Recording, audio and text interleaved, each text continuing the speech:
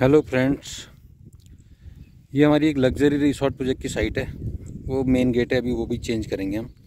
वो पुराना लगा हुआ है। और ये हमारी रोड बन रही है, मेन एंट्री आने की, जो हम पाथवे बोलते हैं ना, दोनों तरफ़ आपकी प्लांट लगे हैं, अभी और भी लगेंगे। आजकल बरसात का सीज़न है यहाँ। तो ये मेन रास्ता यहाँ से ही आ जाएगा। कस्टमर यहाँ एंट्री करेगा। और उसके बाद जो ये एंट्री है इसमें पूरी फिलिंग हो जाएगी। उसके बाद यहाँ पे पेबल से डाल देंगे हम। तो ये जो फाउंडेशन है, ये पहली वाली, यहाँ पे हम बनाएँगे रिसेप्शन और ये हमारी कॉटेज है। टोटल सोलह कॉटेज हैं, बीच में फाउंडेशन में बनी नहीं है।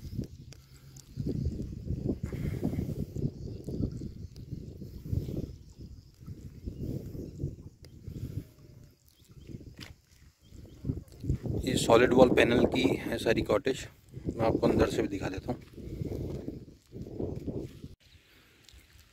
तो ये है हमारी कॉटेज है। मैं आपको अंदर दिखा देता हूँ एक बार पहले। हर कॉटेज का लेआउट अलग अलग टाइप का है। यहाँ पे शुरू में हमारी एक छोटी सी बालकनी है। इस साइड से स्टेयर्स जा रहे हैं और इस तरह हम रेलिंग लगा देंगे। इधर खुला ओपन रहेगा।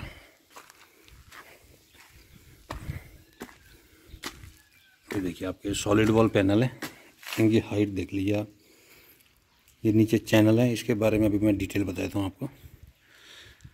ये दो फीट चौड़ा है और दस फीट ऊँचा है। देखिए हाइट पूरी प्रॉपर है। डोर विंडो इसके डोर ऐसे हो जाते हैं। ये यहाँ पे एल शेप विंडो है। ये फ्रेंच विंडो बनेगी। ऊपर 12 एम का बोर्ड लगा हुआ है। इसमें हम रूफिंग में सिंगल्स लगाएँगे। तो अभी ज़रा बारिश का मौसम ठीक हो जाए, क्या उस सिंगल्स को ना धूप चाहिए होती है तो उसके बाद ही वो लग पाएँगे। ये 25 बाई 25 का रूम है। तो ये बहुत बड़ा रूम है हमारा। एक अच्छा बड़ा बेड आ जाएगा, क्योंकि लग्जरी सेगमेंट में यहाँ पर पार्टीशन आ जाएगा। इधर बेड एरिया हो जाएगा पूरा।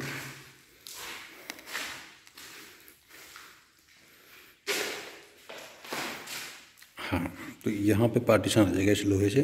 उधर हमारा एल शेप सोफ़ा लग जाएगा। और विंडो के साथ भी सिटिंग है, आप बैठ के बाहर का व्यू ले सकते हो। ये है। और बाथरूम में इधर हमारा डोर से इधर पूरा चेंजिंग रूम है। ये ड्राई एरिया है पूरा। और इधर पूरा वेट एरिया है। देखिए, आठ फीट चौड़ा है। सत्रह बाई आठ का है ये। तो ये आपके सॉलिड वॉल पैनल है। देखिए, पास से दिखा देता हूँ आपको। सबको डाउट होता है ये। टूट जाएगा, जानवर तोड़ देंगे। बहुत हैवी होता है। 110 किलो का एक पैनल होता है ये। और पैनल जो है ना, ऊपर लोहे से भी पूरा स्क्रू नट बोर्ड हो जाता है।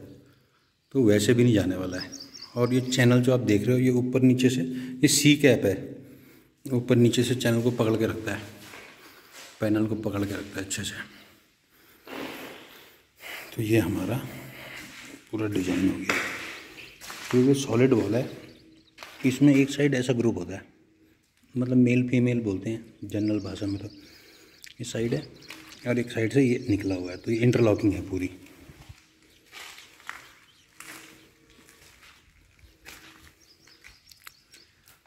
ये बाहर से आपके प्लैंक्स लग गए हैं। पूरे प्लैंक्स लग गए हैं। ये सारा यहाँ पे वुडन सीलिंग हो जाएगी। अब ज़रा मौसम ठीक होता है तो आपको दोबारा इसका एक वीडियो दूँगा। पहले भी दिया था मैंने, आप देखिएगा। ये पंद्रह दिन में देखो, ये राजस्थान की हालत इतनी बारिश।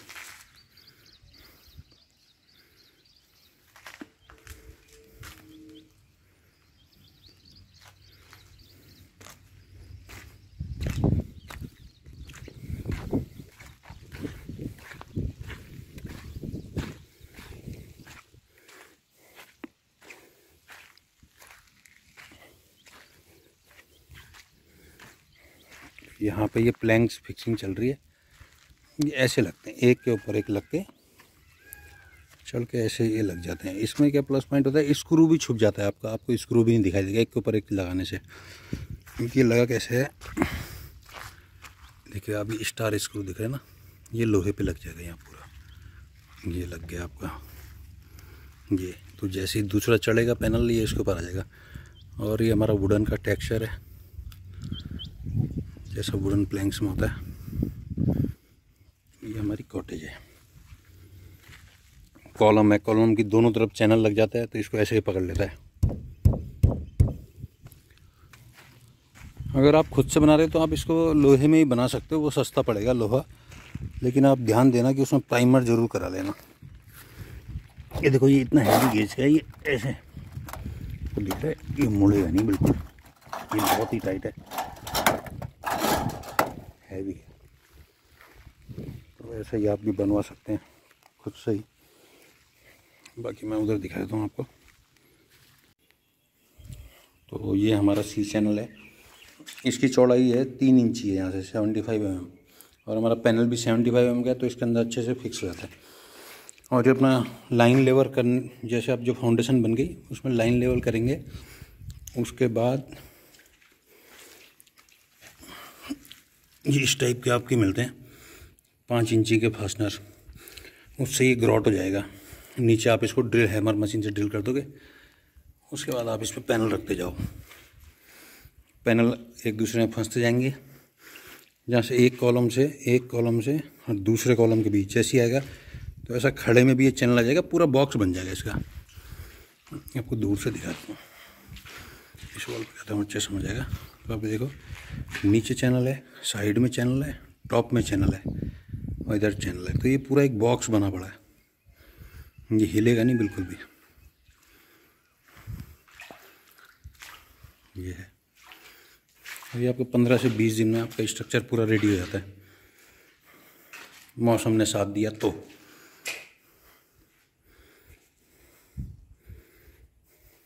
ये बहुत बड़ा खुला खुला बाथरूम है। आप आराम से गिन सकते हो, दो फिट दो फिट दो फिट दो फिट ऐसा। एक एक फिट दोनों को जोड़ गया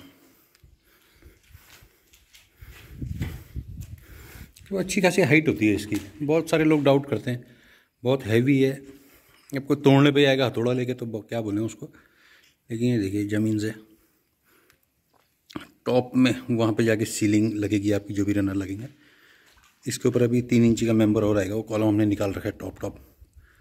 पुरानी बनी हुई कॉटेज में आपने देखा होगा, एक मेंबर और आएगा तो वहाँ पे आपको सीलिंग के अंदर ना दस फीट मिल जाता है। तो दस फीट एक अच्छी हाइट हुई। ये हमारी विंडो है, क्योंकि हमारे पीछे बहुत प्यारा व्यू था, पहाड़ी का। अभी तो दिखाई नहीं देगी। जगह घास हो चुकी है।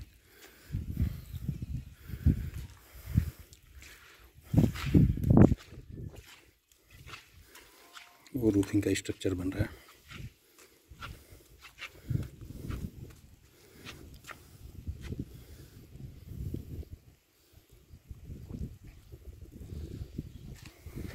देखिए कितना पानी भरा पड़ा है। अब यहाँ देखोगे, यहाँ हमने जो फाउंडेशन की हाइट है ना, पूरी बढ़ा के रखी है और मिट्टी चढ़ाई हुई है शुरू में ऐसे में। और देखिए फाउंडेशन की हाइट तीन तीन फीट रखी है। क्योंकि रेतीली ज़मीन है यहाँ पानी जाता ही नहीं कहीं।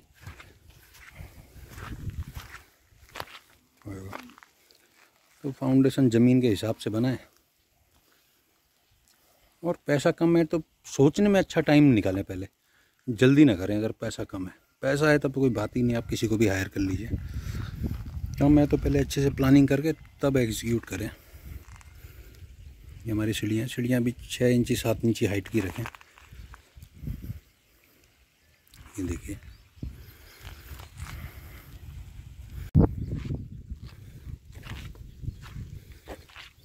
और देखिए प्लांट हमने दूर दूर रखे हैं। डेढ़ दो दो फीट पे बड़े होंगे ना ये? लोग एकदम चिपका के लगा लेते हैं। और ये पानी भरे तो जगह जगह हमने पाइप डाला हुआ है।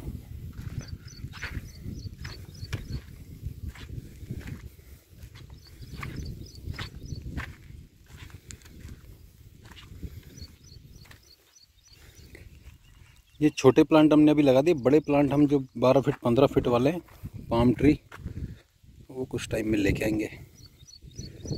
जैसे मौसम ठीक होता है, काम आगे बढ़ता है, फिर आपको एक और वीडियो बना के अपलोड कर दूँगा